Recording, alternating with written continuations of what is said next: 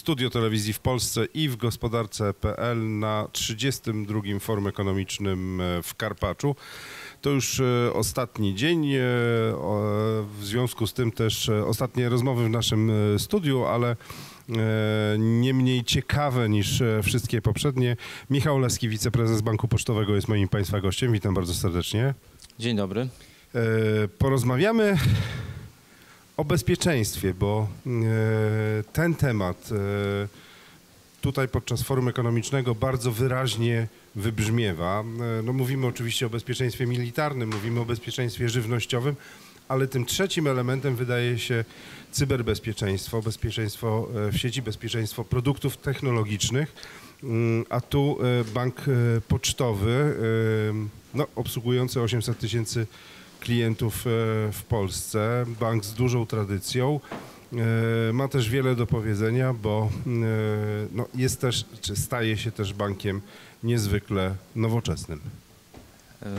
Tak, no cieszę się, że, że jest to dostrzeżone, że takim bankiem i bezpiecznym, i nowoczesnym cały czas się stajemy i, i chcemy i mamy taką ambicję być liderem i w tym obszarze bezpieczeństwa, i w tym, w tym obszarze technologicznym. E, wspomniał, wspomniał Pan o, o kwestii zagrożenia wojennego. E, my dostrzegamy dość istotny wpływ na, na naszą działalność w związku z e, wybuchem i, i, trwaniem wojny w Ukrainie. To są zagrożenia w cyberprzestrzeni. One są generowane w związku z tym, z tym konfliktem zbrojnym.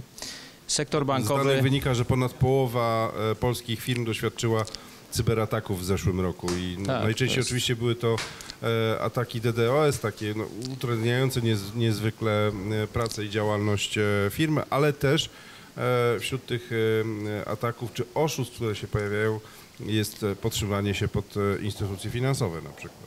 Tak. Wiem, że mhm. walczycie z tym uświadamiając klientów, ale nie tylko klientów, bo konsumentów w ogóle, że takie zagrożenie jest niezwykle e, no, trudne do, e, do wychwycenia i e, no, trzeba być mądrzejszym od oszustów. Tak, to prawda. To jest tytuł naszej, naszej akcji. Cyberdojrzali bądź mądrzejszy od oszusta. Ja jeszcze nawiążę do, do tej kwestii zagrożenia dla sektora bankowego.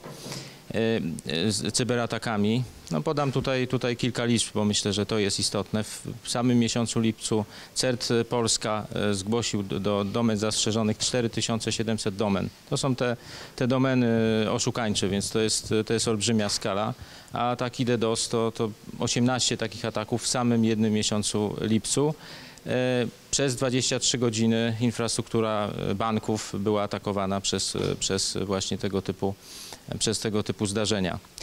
Ale co jest pozytywną informacją, wszystkie banki, w tym bank pocztowy, który również e, podlegał tym, takim atakom, e, wyszły obronną ręką. Także e, z tego punktu widzenia depozyty naszych klientów całego sektora są oczywiście bezpieczne. Natomiast E, bardzo ważna jest e, e, edukacja, bo... Ale to ja bym chciał jeszcze zatrzymać się, bo mówi Pan o bezpieczeństwie depozytów, to jest jasne, ale to jest też kwestia bezpieczeństwa danych klientów. Tak, Dzisiaj tak, to tak, dane tak, są bardzo często tą największą wartością, którą no, powinniśmy chronić. Tak. I stąd, e, e, biorąc pod uwagę, że już od dłuższego czasu e, każdy ma bank w swoim komputerze, a nawet w swoim telefonie, musimy tam zwracać uwagę na pierwszej linii, aby właśnie nasi klienci wiedzieli, jak ustrzegać się przed zagrożeniami. No, wśród naszych klientów oczywiście taką grupą, która jest najbardziej narażona na tego typu działania oszukańcze są osoby starsze. Wiadomo, jest tutaj oczywista bariera technologiczna, ale również specyficzne cechy starszego pokolenia, otwartość, życzliwość, e, troska o osoby najbliższe, no to, to, to, to ten znany prawda, proceder, e, proceder na wnuczka. E, I staramy się pomóc tym ludziom w ten sposób, że mówimy o zagrożeniach, bo najważniejsza jest świadomość.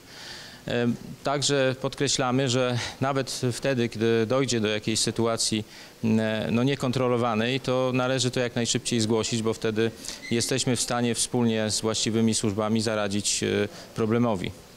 Tak, dzięki tym zgłoszeniom wiemy, że w, w latach 2020-2022 policja raportowała 2786 e, no właśnie takich raportów o oszustwach z sektora finansowego, czy związanych e, z sektorem finansowym, to rzeczywiście uznać można, że to sektor finansowy, sektor bankowy jest też odpowiedzialny za edukację, za to, żebyśmy wiedzieli, jak radzić sobie z takimi próbami e, ataków czy, czy oszustw. Tak, to prawda. No są to również wymagania prawne. My ponosimy również odpowiedzialność w pewnym sensie za za działania naszych klientów, którzy no, w sytuacji, w której dojdzie do nieautoryzowanej transakcji, oni nam złożą taką reklamację, no jesteśmy zobowiązani do, do zwrotu tych środków i później oczywiście cały, cała ta sytuacja jest badana, natomiast odpowiedzialność e, banków tutaj jest e, bardzo duża, także my staramy się w związku z tym na tej pierwszej linii z naszymi klientami przepracowywać wszystkie zagrożenia, aby nie dochodziło właśnie do takich e,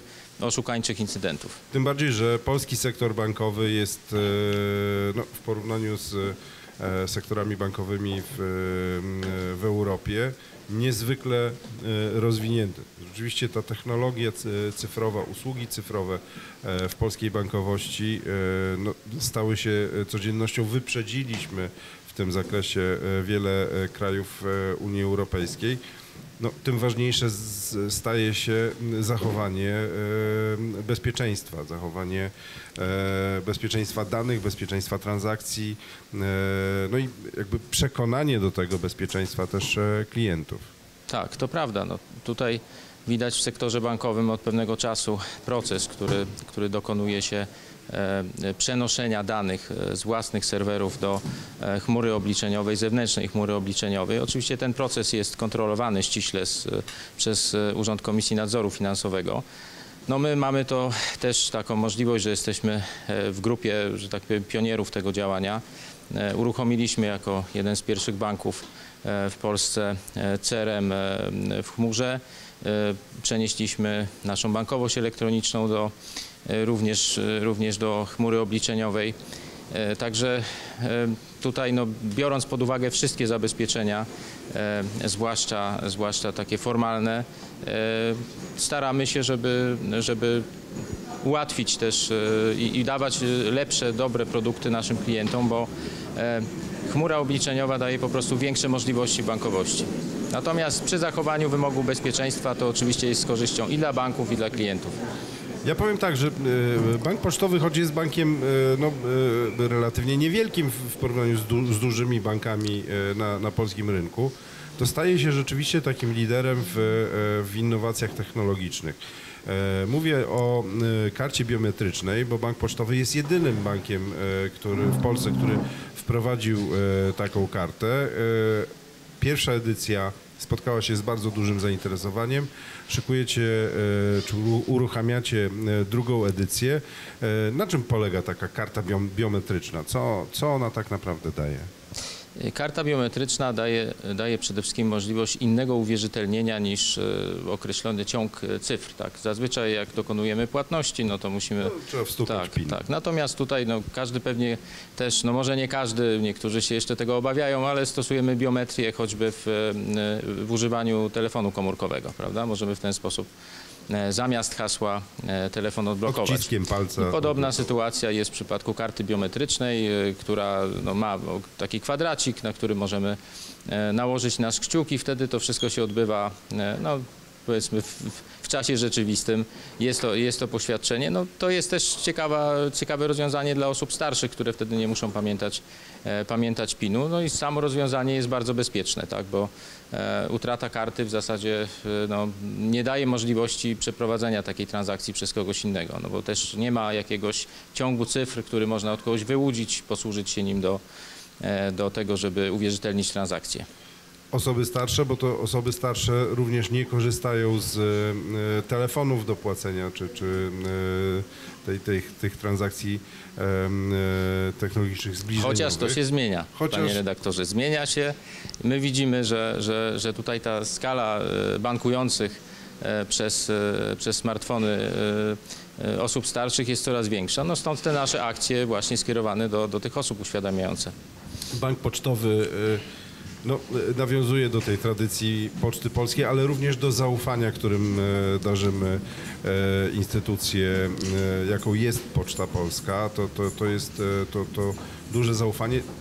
Niezwykle ważny element gry też w sektorze bankowym.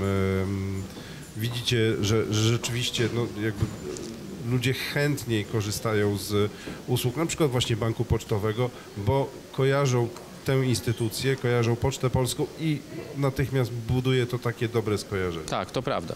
To, że jesteśmy chyba e, jedynym, e, jedynym bankiem na rynku, który jest e, niemal ze stuprocentową własnością Skarbu Państwa, bo pamiętajmy, że 75% minus jedna akcja to jest Poczta Polska, która jest spółką stuprocentową, a 25 też minus 10 akcji to jest PKO BP. Także też dwie, dwie instytucje no, o najwyższym zaufaniu zaufaniu chyba w Polsce, no to zaufanie przenosi się na nas, tak, jako na to dziecko tych, tych, dwóch, tych dwojga rodziców. E, I stąd my w ogóle, że tak powiem, w historii nie, nie, nie, nie mamy problemów e, takich jak banki, które są nowe, czy, czy, czy które są znane z jakichś tam e, problemów. Od strony depozytowej w zasadzie, w zasadzie jesteśmy cały czas na bezpiecznej, na bezpiecznej pozycji.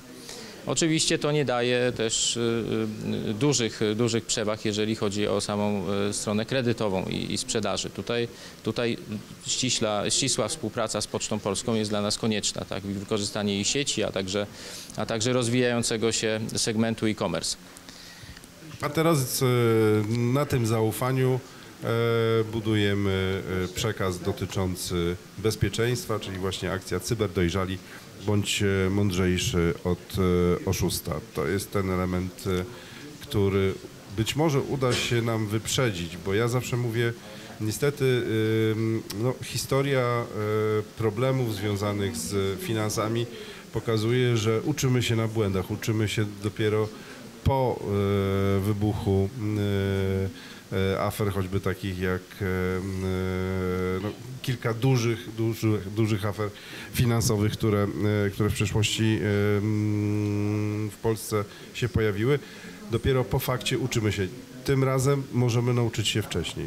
Tak, dlatego też, tak jak już wspomniałem, ważne jest uświadamianie naszych klientów, przede wszystkim osób starszych, E, jak wyglądają te zagrożenia e, w internecie. To są właśnie też te fałszywe strony phishingowe, fałszywe strony inwestycyjne, no oczywiście fałszywe strony bankowe, ale także fałszywe strony pocztowe i kurierskie, że jeżeli dostaje określona, określony klient SMS e, z linkiem, no to jest to no, jednak sytuacja, która musi budzić wątpliwości i E, raczej nawet należy to zgłosić e, odpowiednim służbom bankowym, e, czy to jest, czy to jest komunikacja z banku. Tak samo, jeśli, jeśli ktoś zadzwoni, czy jest to bot, czy jest to, czy jest to pracownik call center i prosi o dane uwierzytelniające do, do logowania, też tutaj, zresztą cały sektor bankowy, nie tylko my, uprzedzamy o tym, żeby takich danych nie przekazywać i sprawdzić, czy rzeczywiście jest to komunikacja z banku. Natomiast bank nigdy nie dzwoni i nie prosi klienta o dane uwierzytelniające. I to jest e, pierwsza informacja. Pozostałe informacje dotyczące tego, jak postępować i jak być e, mądrzejszym od e, oszustów na stronie Banku Pocztowego i na stronie akcji Cyber, Cyberdojrzali, bądź mądrzejszy od oszusta. Michał Leski, wiceprezes Banku Pocztowego, był moim i Państwa gościem. Bardzo serdecznie dziękuję. Dziękuję bardzo. A Państwa zapraszam e, do oglądania i wysłuchania relacji z Karpacza e, z 32 Forum Ekonomicznego, e, dostępnych na portalu w gospodarce.pl i w telewizji w Polsce. Bardzo serdecznie dziękuję za uwagę i zapraszam na kolejne rozmowy.